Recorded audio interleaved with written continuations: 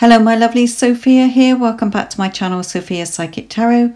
So, today's daily guidance is for the 15th of October 2021, and the little message from the Everyday Happiness book is If the world seems cold to you, kindle fires to warm it. And that's by Lucy Larcom. So, in today's message, we start with the beautiful reconciliation card. Someone from your past is returning to your life. We have the death card, we have the temple path, we have the marriage card, and we have crystal.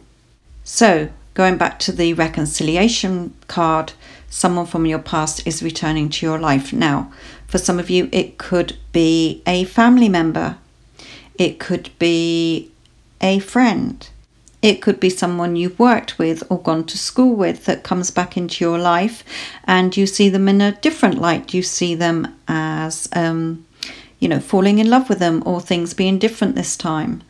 So I don't want some of you to panic and think, oh my God, there is no way I want any of my exes back.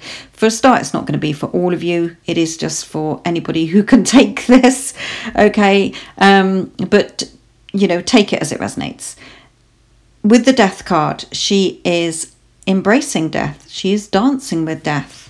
And with all that fire energy, it's showing that what you desire, you can have. You can change if you embrace the changes that are coming in or that you need to make within, then you will see the changes. And with the temple path, Spirit is leading you to a place of peace. A temple is a place of peace and you can have your commitments in relationships or with back with family and friends. You can have marriage.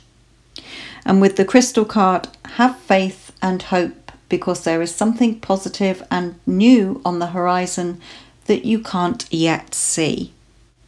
So reconciliations making those changes embracing the changes things being more peaceful commitments, marriage, and it may not happen today, but Spirit just want you to know have faith and hope because it's on its way.